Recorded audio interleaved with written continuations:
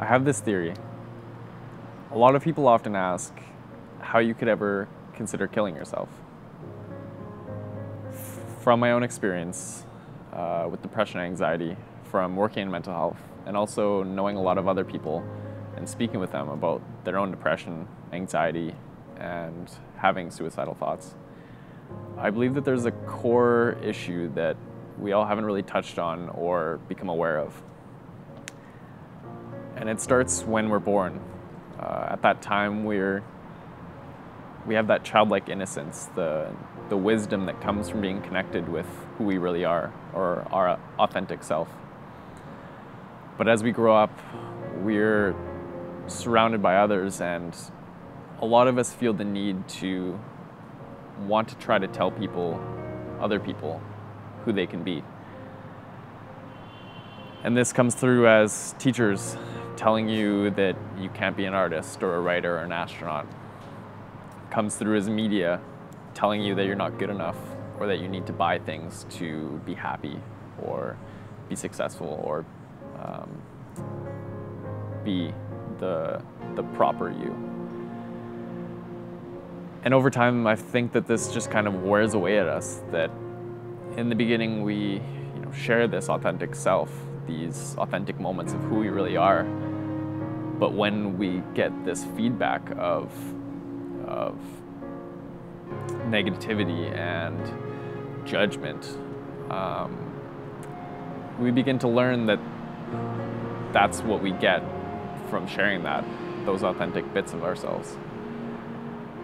So over time, I think that we learn to kind of build these walls and protect who we really are. But what happened to me is that as I started to do that, I started to lose touch with my authentic self, who I really was.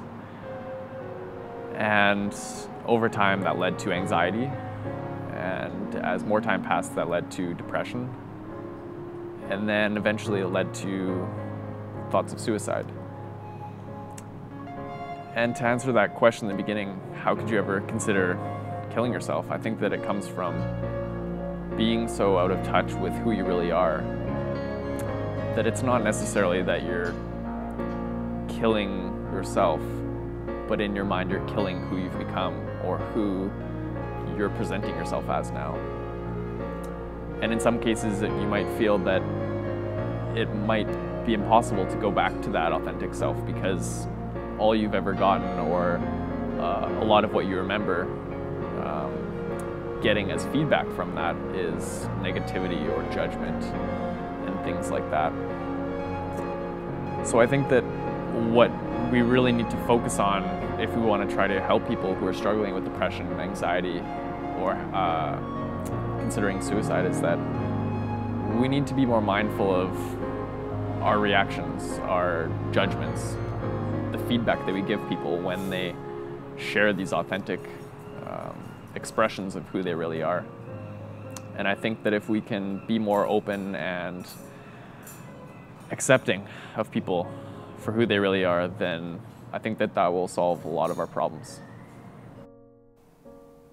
And if you're struggling and thinking about suicide, I want you to know that there is help. There are people out there who will accept you and encourage you to be your authentic self. The key is getting back in touch with who you really are and talking to someone about what you're going through.